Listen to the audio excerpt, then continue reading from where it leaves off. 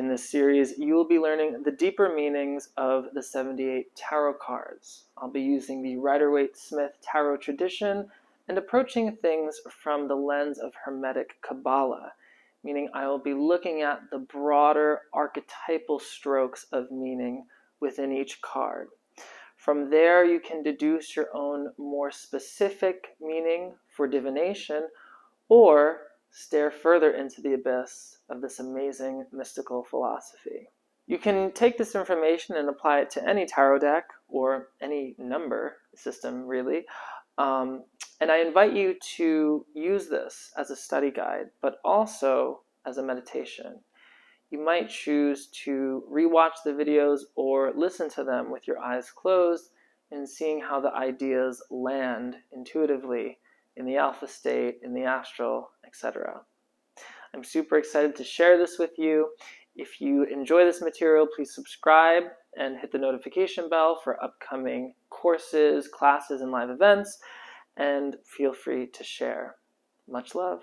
Get your notebooks out because we're starting with the Fool. And the Fool is the idea of nothingness. Now, any great mystical tradition has an idea of nothingness, which is literally an oxymoron, because how can you have an idea of nothingness? The very concept of nothingness is a paradox.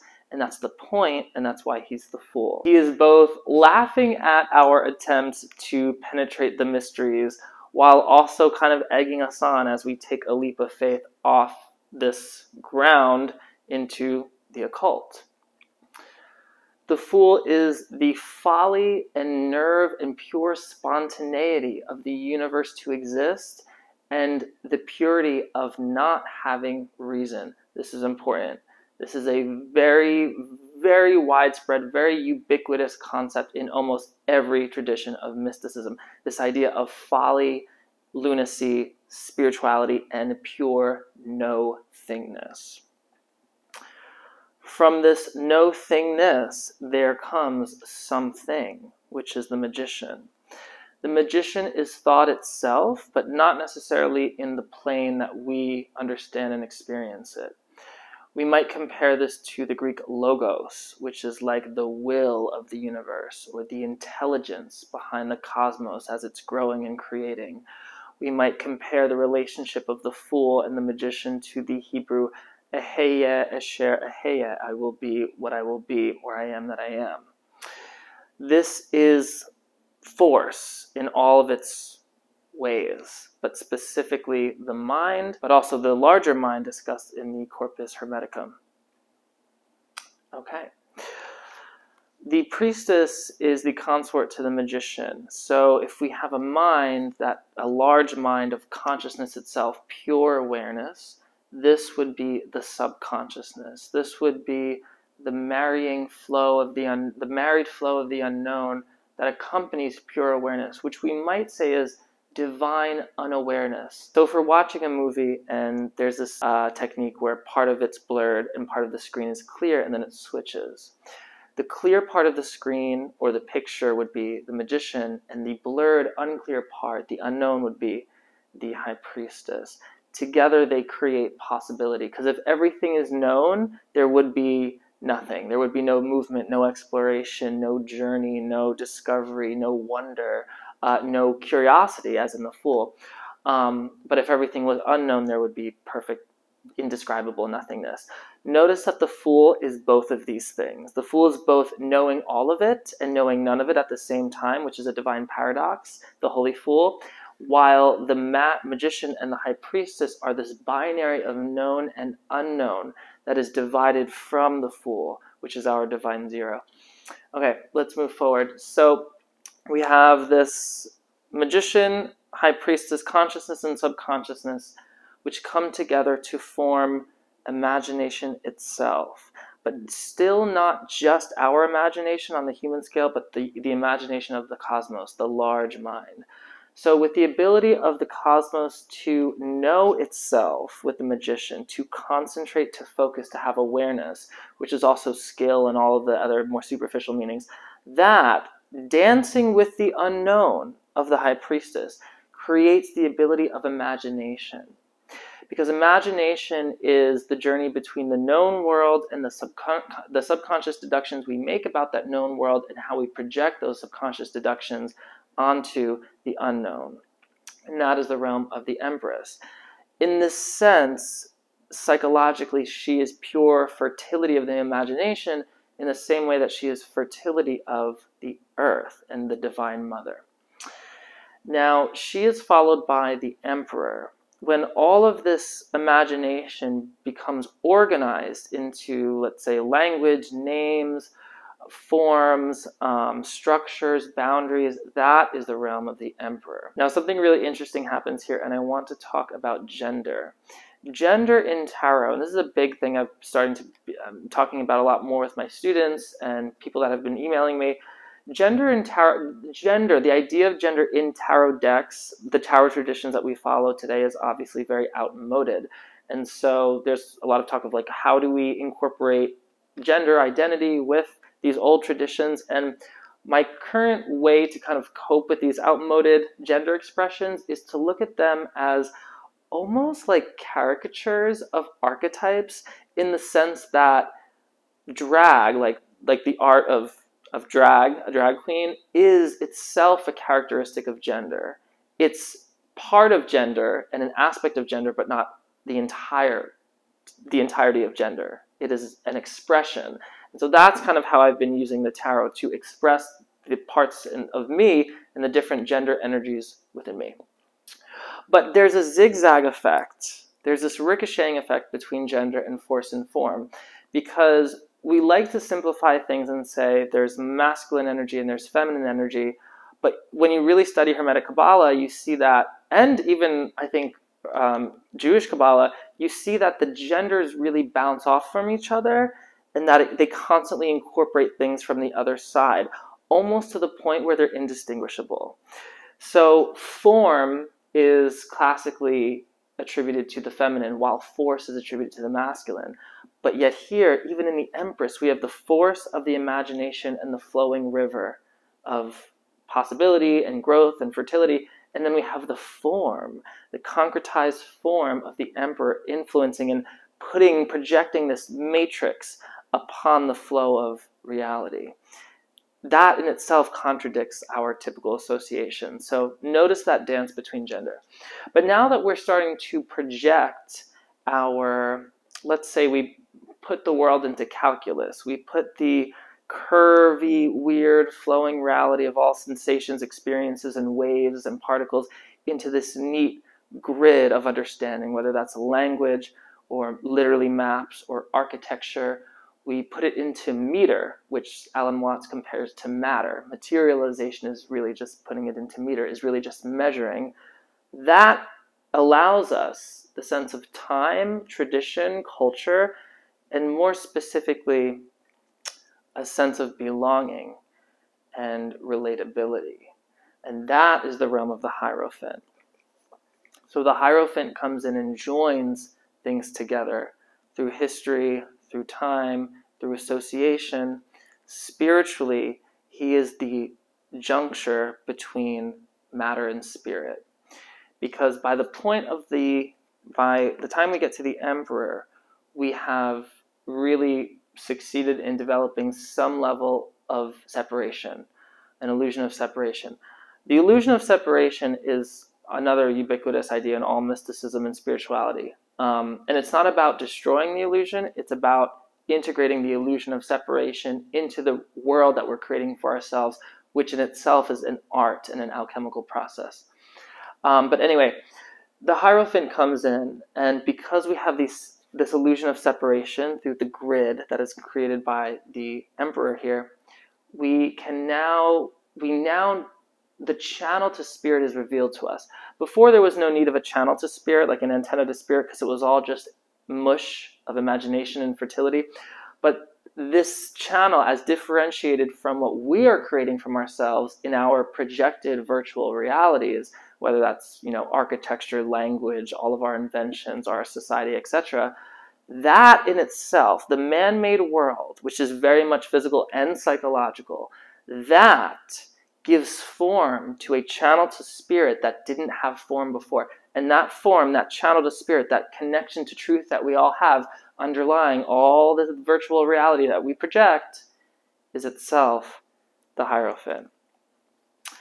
Now, another result of the illusion of separation slash the birth of ego or the primordial ego is the lover's card, is the ability to behold another. The, the reason why you can look at this video and feel like it's coming out of something that's not you is the lover's card. In the same way that I can look at this camera, it is my ability to look at someone and love them and behold them as something slightly different from me, slightly unknown, but beautiful, but interesting. Um, this is literally like existentially, the lover's card is space itself in a way, distance between things, which is another thing we are projecting upon the flowing reality from the emperor, okay? The lovers is um, also recognizing that what you behold is you, and that's kind of the mystery. So yeah, the lovers is specifically, if we're looking at things in the creative process of the universe, the lovers is fractalization through separation, or any form of creation through separation. So like cells dividing and planetary bodies dissolving and coming together, that's all the realm of the lover's card um, yeah. The chariot card is the fusion of all things before it. So it is, in a way, a manifestation of life itself. And the chariot has a lot of things on the tree of life. It's very connected to the left side of the tree, which is the feminine side, which is where the the blood and water of life is pouring out, like the ability to incarnate. So the chariot is really talking about incarnation as an experience, um, which requires beholding of otherness, uh, relatability, uh, history, culture, projected language and man-made inventions, imagination, all the things before it. So this is the result, which is a life. And it's not the master of life, but it is the adept of life. It is ability, it, it's kind of like the bottom tattvas of, um, of Eastern philosophy. It's all the things that are required to have a human experience, um, to survive, to communicate, to, to exist. And the chariot represents incarnation as a vehicle for the soul, as something fun that we drive around. And it's like our bodies are kind of like our, these meat sacks that we pull around energetically from our consciousness. Um, you don't have to, and by the way, you don't have to believe any of this stuff because belief is just a tool. Um, if anything, just let the ideas tickle your brain and have fun with them. Um, but yeah, chariot is vehicle of the soul, which is our bodies are also our personalities. But more deeply, it goes into the, the layers of our energy bodies as well, um, which gets very complicated and beautiful. But um, yeah. So now that we have incarnation and we have this Russian doll template of energy bodies, which is kind of what it looks like. The, the um, the energy bodies are like Russian dolls. There's multiple layers. Some are harder, some are softer, and they kind of alternate, uh, and then they go outwards. Now that we have this energy body and this incarnated experience, the strength card comes in, and this is our ability to manipulate that energy. The strength card is specifically the manipulation of the creative energy, which can denote the Kundalini serpent power that's wrapped up at the base of the spine and through yoga and esoteric practice, you can draw it upwards to the top of the head and draw this ojas energy and have an awakening eventually. Um, and a lot of that is what the tarot is expressing, but that's only that's one very deep layer. There are many other layers as well.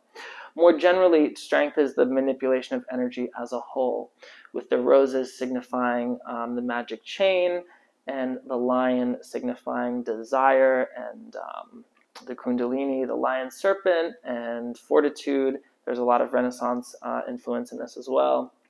Um, but yeah, in a way, she reflects the ability of the magician, which in itself is a channeling of energy by awareness itself, is channeling all existence to be aware. This is a cha- this is channeling awareness to manipulate energy on a more uh, specific scale, like a human scale. Cool.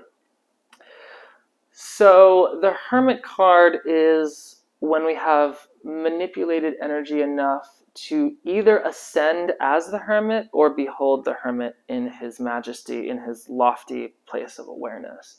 Um, the hermit is light, and this is actually, and not a lot of people will believe me, but this is an image of God, big quotes here, but it is an image of God. And that has to do with its Kabbalistic associations. But the hermit is really our ability to see a beacon of hope, which is ultimately someone, some intuition, maybe it could be a prophet, a yogi, just a really loving person, or any figure that illumines the potential of our uh, spiritual awareness, which is really cool. And I really think that the lantern, like fire, its spiritual awareness spreads because high energy drips down to low energy and it's infectious and it will find you. It will find you. Um, but you know what it's like when you're around somebody with such a high vibration and they just change your world. Uh, that's kind of what the hermit is, re- is representing, among many other deep things. Now, the the wheel of fortune is kind of what the hermit himself herself is experiencing or what they are beholding. And that is all the laws of the material and the spiritual universe. Now the wheel of fortune is specifically more geared geared towards the material laws but by beholding all the material laws as happening at once, which they are, you know, read the Kybalion, read anything, read, I don't know, thermodynamics, just read anything about laws, when you can behold them all happening in this intricate dance of the machinery of the universe, that in itself is a mystical experience. And there's totally a backdoor here to go into Ezekiel and um, uh, Merkabah mysticism and all of that. Uh, but yeah, this is beholding the law, which is what Ezekiel did in a way. He beheld, he saw this throne of God and God ultimately, and some other cool, some other cool stuff. Lots of eyes. Yeah, that's a common thing in um, in uh, apocalypticism and also um, psychedelics, which is interesting, and near death experiences. Lots of beings with lots of eyes. Um, I've been fixated on that a little bit lately, but because um, this is also the Eye of Shiva, which is in a sense closed while everything is moving and will be destroyed when it's opened. Um, but yeah, there's a lot of other. I'm not going through all the symbols. We would literally be here for years. Um, but I'm just giving you kind of a, that, that deeper level. So justice is actually our karma card, and it is the way that these laws uh, flow into our life. It is this, this large macrocosmic uh, system of laws, you know, rhythm, polarity, all of those things, um, scale, correspondence, how all these laws begin to affect us in our microcosm, which in itself is its own world. Because you're literally in your own world, and just like God, the source, chaos, Krishna, whatever, created the whole universe, you are creating your personal YO universe. And that, and the card that describes the rhythm of that creation is justice. Why justice? Because of action and reaction. Karma is not this righteous, I don't know, thing of um, punishment and consequence. It is literally cause and effect. It can happen at like 270 miles per hour which I think is the speed at which your brain sends signals to your body. It's the psycho-cybernetics of how we react to life. It's like cognitive behavioral therapy. It's how we react to life. It's how we, um, it's the psycho-cybernetics of the body mind working together. So it's what we create for ourselves, what we do, how we react to that, and how we put that into the story of who we are, and how that affects our behavior to either reinforce that what we're creating or go against it. And that is not always an easy process because we're all growing, we're all learning, we're all healing in one way or another, we're all turning lead into gold. And that the the tension and the learning and the work and the refining happens through karma and justice. Um, and then the results of that sometimes are the hanged man. Hanged Man is a very, very deep card. Another card we could talk about for days and days.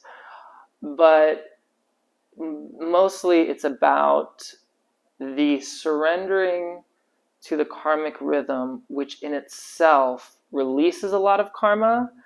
Um, because what you're doing in the hanged man, the hanged man is describing this complete surrender to the logos, to the intelligence of the universe, to the will of the universe. The light coming out of the head here has to do with LVX and has to do with the logos, the light of divine intelligence, which is itself an expression or radiation from our hermit card. Um, there's a lot of numerology with this card and geometry with his body and, and deep connections to the Empress and the uh, the World card. Um, but generally, it's it is a card of the Dying God formula, aka Osiris, Christ, Buddha. We love a coming of age story. We love a transcendent death and rebirth story. That's very much about the hangman. The hangman is the method in, in, a, in a way, the descent into darkness, which in itself could be incarnation itself in order to redeem something spiritual.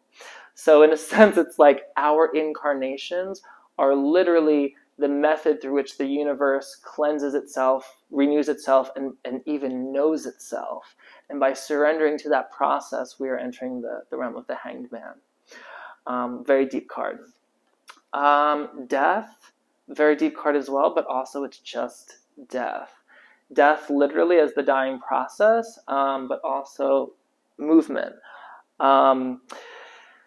The beauty of death, a lot of its symbols connect to movement flexibility and liquidation. It's Scorpio, the Hebrew letter Nun, which is fish. Um, it has ideas connected to walking and ambulation. And it's just very much about death being the requirement for all phenomena to continue and to move. Um, I always think of it like sensations come always in a wave. For a sensation to exist, there has to be an, uh, an onrush, a commencement, an apex, and then a recession, and then a silence. Like those four things are required if you want to map it out that way, which is also the Wheel of Fortune. But the death is the ability of the movement of it, which allows it to exist in the first place. So what's happening here is, in a way, when we go look at these watery cards, because um, death is connected to Scorpio, a lot of the watery cards are energy issuing forth from the priestess, that unknown element becoming known in some way, or that unknown element kind of lubricating the motion of the universe. That water of the priestess, the water of the death card, the water of the chariot, this life water, which is also death, um, the fluidity of the two, the dance of the two, which allows experience to exist and allows things to continue to change and allows us to be creators. Because to be creators, how are we going to create if everything's just brittle and staying the same all the time? Um, this goes from, from a cosmic perspective, but also to a human perspective. That flow continues in the temperance card, and this is kind of like the recovery answer to that. Um, temperance is also more deeply the the flowing relationship between our conscious awareness and subconscious. So I mentioned the priestess. This is kind of like the priestess and the magician coming together again, and that dance being married in a new way or dancing in a new rhythm. And that rhythm is literally depicted as the water between the two cups. Um, ironically, this is a card that she's standing on land and water, but it's very much a card of fire, being Sagittarius. And all the symbols with this card, from Sagittarius to the Hebrew letter Samek to pretty much everything, have to do with the extremes and the tension between extremes, which allows one to move forward, which allows one, one to progress. Um, a very literal experience of the temperance card is to walk forward, like literally just walk. The resistance of the earth to you walking and your pressure on the earth and gravity, all of those is what allows you, is what propels you forward. So it's like divine resistance, vibration, which allows things to happen. Uh, the devil card brings all this together. So the devil card is the tension behind the illusion of fixity, especially in contrast to the world, which is always flowing and moving. So there's two aspects of the devil card, and so many tarot readers see the devil as this addiction and all that, and that's great. That that's a level, but um, that level, the the shadow self, the addiction, the illusion, all of that is what has been usefully provided to us through our evolution through the other cards that I've been talking about, most notably the Emperor. Um, what happens in the Devil is it's more about um, integrating that illusion or noticing that's, that it's an illusion, um, especially in contrast to all the other cards that we just went through the death, the hanged man, uh, temperance, all of these things with, which have to do with flow, vibration, surrender, um, surrendering to this life force and, and realizing these elements of illusion when, when we can surrender while still living in, for lack of a better word, the matrix, which is our projection of our virtual realities that society has conditioned us to think is so, etc., etc., which is also useful, that tension between the two and integration of the two is the devil. Because um, the devil is also our will to live it's also our sex and our desire nature, which isn't inherently bad, but when we project all this bullshit on it, it can be pretty distracting. So it's the integ- integration of the two. It's drawing the lower nature into the higher nature, which we have been primed to do by the temperance. Uh, conscious and subconscious, above and below, all of that. Now, as we go into the tower card, this is, you know, the most fun card of the deck because this is our first real spiritual illumination. Um, it is the first moment when we actually do suspend the matrix that we are projecting on the world from the devil.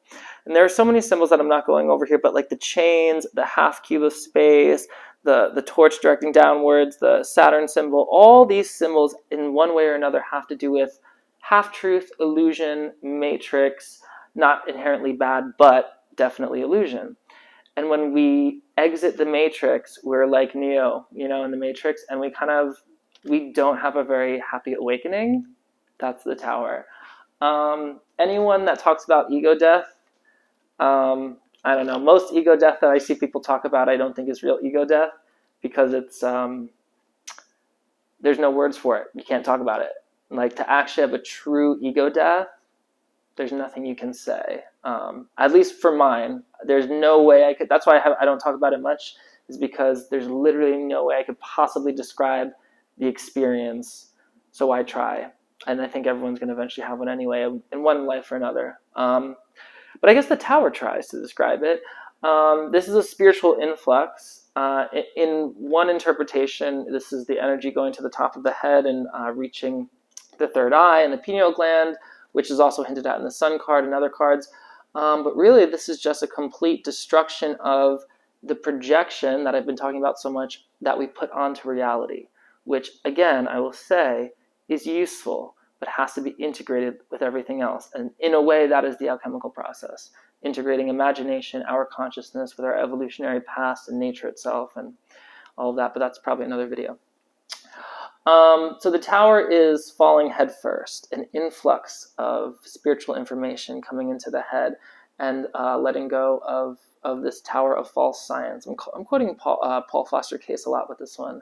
Um, but yeah, it's Mars and it's the, the destruction of ego. Um, and I will say that one thing, since my ego death, um, and by the way, when I say ego death, like you have an ego death, but you come back. Like my ego's the one talking right now. So it's like not like, oh, it's gone. It's like you need it. Um, or it's an illusion, but it's a technology.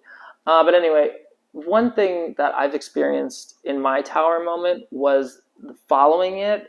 Um, I've had blissful moments of the, the only way I can describe it is space itself and even that is like a stain on the experience. That doesn't even cover it. But i feel like the star card kind of really illustrates that because the star is when the tower is gone and there's just a sky there's all this possibility.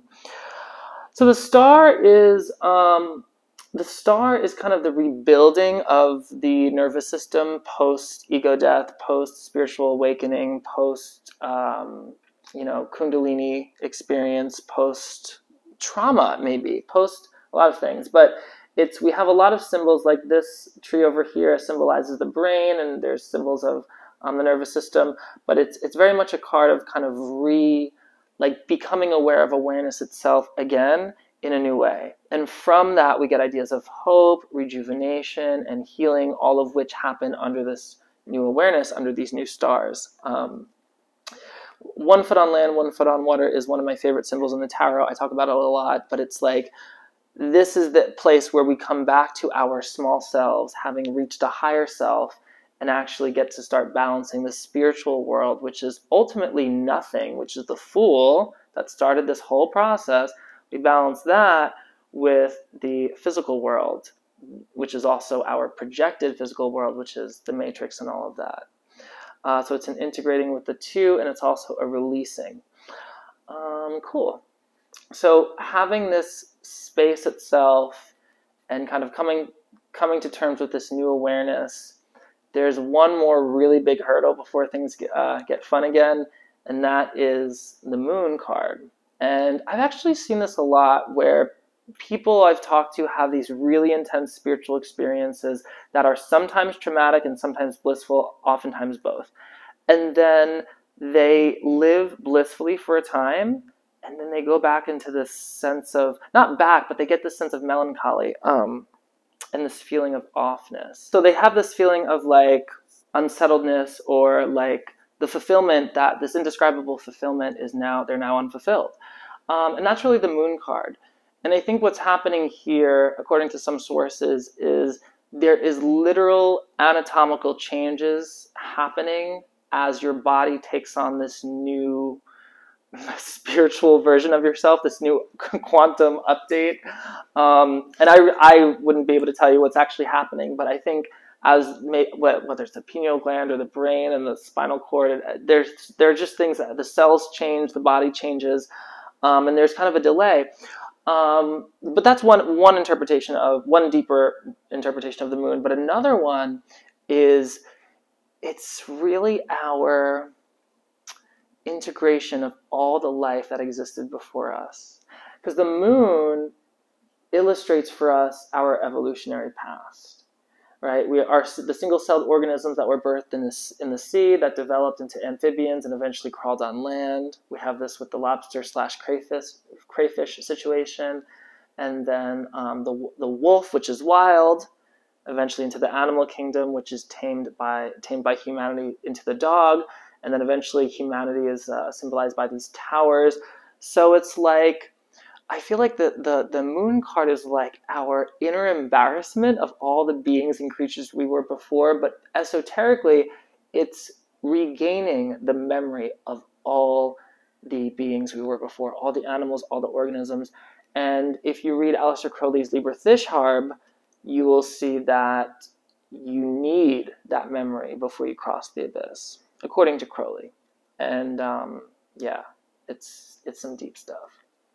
Um, but yeah, so this is kind of like an integration of, or the beginnings of the integration of our DNA as a code of the entire past, but also of the future, because it's kind of holographic in that way. Um, if you're into Hermetic philosophy, it's holographic at least. So the sun card is really like the pineal gland lining up and getting their whole life. Like this is boop, we are there, we are here, we are queer, we are having a good time, and we are just radiating joy. Um, but more specifically, radiating the spontaneity that we knew in the Fool, which we now kind of um, reintegrate, but as an incarnated being. And that's the beauty of it. So it's like we ran this whole gambit of um, you know, coming into being, projecting our virtual realities onto things, experiencing highs, lows, death, change, release, surrender, vibration, da da da da da, um, integrating our past uh, species, and now we're like all of it being like, yeah, like this is this is not. It's just enjoying it. It's like the sheer enjoyment of it. So it's very much a card of innocence, um, and it's a card of integrating the four Kabbalistic worlds. Um, it's a card of it's kind of the best way to describe this card is like all things happening at once vibration, radiation, consciousness, but without need of anything, but still doing it. So it's not a complete leaving of the matrix. We're still in the matrix.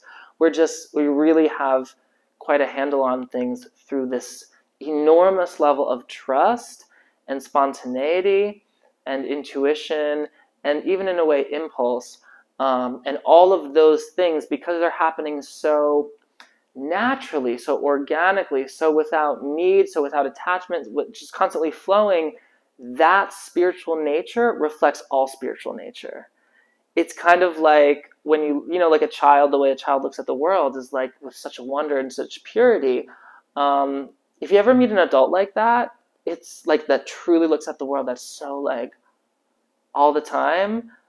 Um, I've only met really one. I, my grandmother was, I, for all intents and purposes, woke AF, as the kids say.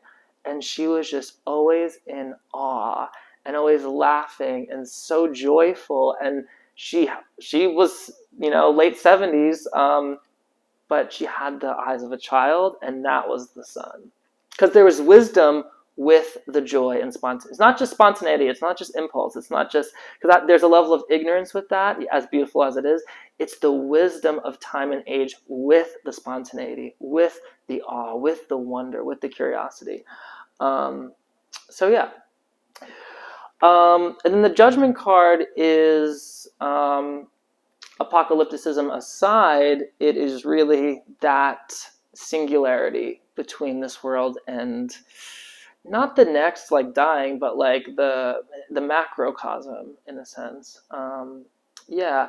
And what's happening here is they're actually being stretched out of three dimensions into four dimensions or maybe today you might say 4d out of 4d into 5d depending on your template of the universe. But um, but yeah this is a calling that you can't deny um, but even this card, there is very much still a death here, probably more intense than the death card than the tower, but because of the spiritual maturity of the aspirants here, it's not a big deal because we've hit the sun where we, we're, we, we are everything at once. We're doing everything at once. We are in that creative flow, in the flow state, participating in incarnation, but also not of it. And that allows us to kind of flow more easily. Um, yeah, it's a threshold uh, for sure. Um, Pluto, fire, Hebrew letter Shin, um, the fire letter, the holy letter, 300, it's a big one. Um, so we're moving on from that, and the world is our last card. And the world and the fool are cards that, in a way, they don't, they're like bookends to the process, but they also describe the whole process. So I would say the fool is the only card you ever really need in the tarot. In a way, it's the only card that exists but the world is the full development of the fool on the other side, which is also the fool. And the idea here is, and this is really where things get so cool, so crazy, is recall I'm talking about things like the eyes of a child, spontaneity, uh, curiosity, awe, but with wisdom now, right? The same awe that has developed in, in these last couple cards, which is now crystallizing and perfecting itself in the perfectly balanced card that is the world, perfectly balanced by our four um, four beasts of Ezekiel, four cherubim, perfectly balanced by these two pillars, which is also Yachin and Boaz, which is also spiral forces and positive and negative and gender and all those things. The double the helix of DNA and the womb, and it's all happening right now. This is life and DNA and consciousness all happening right now in the illusion of time, which is only this moment because this is the great one of the night of time. It's that Saturn is attributed to this card. Um, but the beauty of this card is that awe is now fully complete and returned to zero. Uh, everything in the universe cancels each other out. All illusion of separation is removed to come back to this ultimate oneness, which is actually noneness. And that very noneness, that very magical awe, is the fool. It's the same thing and then it happens again. And this is the coolest part of tarot because it is the ultimate paradox. And because it is the ultimate paradox, and illustrated really cool and really fun to use, um, it makes it a tool of mysticism, which is beyond divination.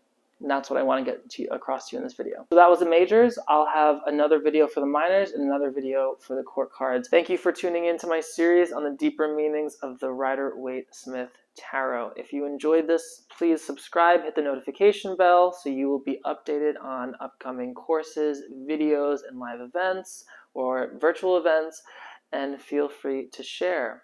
If you'd like a more thorough education on esoteric tarot or tarot as a profession, visit tarotmysticismacademy.com where you can take some more free courses.